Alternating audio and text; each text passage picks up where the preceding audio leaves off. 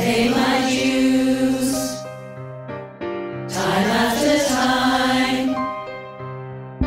I've done my sentence, but committed no crime. And I've